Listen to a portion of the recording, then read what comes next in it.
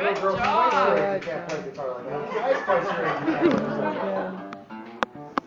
You're gonna play circles around me and keep that up. That was a great job.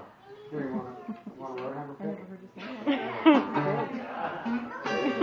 Thanks a lot, that was great. Pleasure to meet you.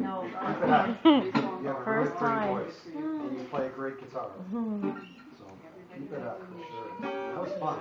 Thanks again, you guys, Yes. so much.